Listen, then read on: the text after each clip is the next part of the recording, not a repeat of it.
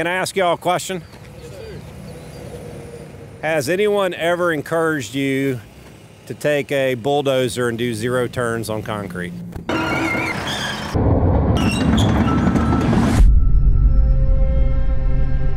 think the biggest thing with this Yancey project that'll stand out is the abuse this concrete will receive. I mean, we're talking heavy equipment being loaded on this concrete and constant loads. Concrete does great compressively. Concrete has great compressive strength, but typically concrete is weaker when you look at flexural strength or you look at shearing strength and stuff like that.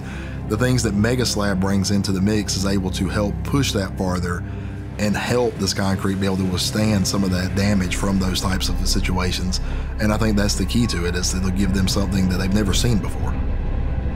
The original idea to develop MegaSlab was to create the most durable concrete that we have in the market. In the course of the development, we realized that it also became the most sustainable concrete in today's market. Better concrete and sustainable concrete, they're the same thing. Some of this concrete may last, you know, 150 years. It'll be here long after any of us are. And that's the most sustainable part of it, is that when you look at sustainability, everybody thinks about, oh, global warming potential and all that. Well, that's great. But if you look at a structure and if a structure stays in place for twice the service life, that's where you're really affecting sustainability. Today, pulling up and now seeing all the heavy equipment on, on the finished product was amazing. Not having saw cuts every 16 to 20 feet is a huge improvement on other types of paving that we've done. I've poured concrete all my life. I grew up pouring, so I've 20 years placing concrete, residential, commercial, I've done it all. I ain't seen nothing like that. First thing I'm seeing out of the gate is that one, we were able to get the customer back on the concrete a whole lot faster than your standard concrete. Um, it was seven to 10 days of yep. cure time by the time we were able to put this heavy track equipment on it compared to, you know, typically a minimum of 21 days with yep. standard concrete. You know, you, you guys are used to probably pouring a standard 4,000, maybe a 5,000, but we're already getting 10,000 PSI out here. Wow. What's interesting though, I think you would probably agree, is it didn't place like a 10,000 PSI mix. No, it did not. No, it was a good, uh, it was a good finishing product. do some donuts in here.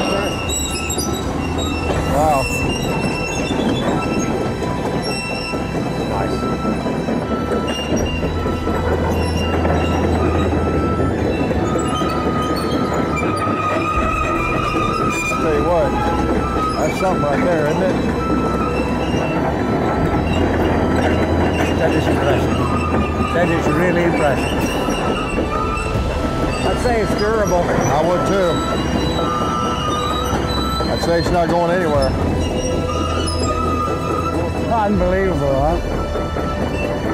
If you do that with regular concrete, you have divots. You're gonna break some joints.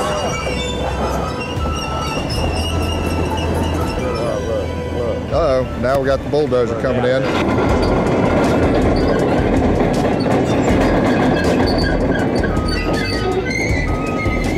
Yeah, normally that concrete would already be chipping.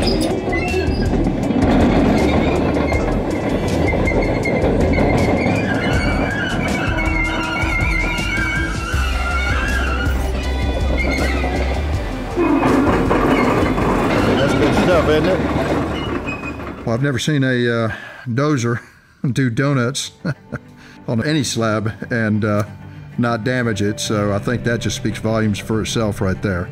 And what I seen today, um, uh, kind of blew my blew my mind. You know, uh, I've never seen what I've seen today on concrete. It's durable. Uh, the PSI is high.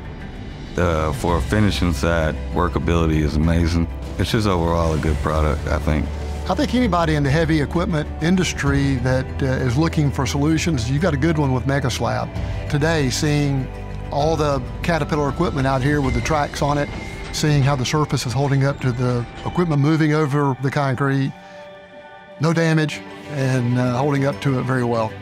Do you see any damage out here? No, sir. That's what we was looking at. It looks like it filled out very well. I don't see nothing, no gouges, no anything. That's nice to the other people that are in the heavy equipment industry, They just need to come out here and look at what we got out here because this is phenomenal.